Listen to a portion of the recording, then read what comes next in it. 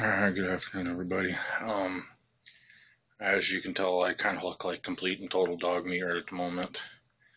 Um, last couple of days I haven't really slept. Um, both my kids right now are in the hospital being checked for RSV. Um, Alex has gotten really sick over the last couple of days. Um, Patricia, baby girl, she's been doing okay, but uh, she is starting to run a temp and get clammy and everything. And in the middle of uh, them going down to Mason City, a friend of ours' daughter who has RSV um, started turning blue due to complications from RSV. So basically, half the people I know in this area are right now in the hospital. So um, right now, I just need everybody's thoughts and prayers and uh, hope for the best. And I'll uh, keep you guys all updated.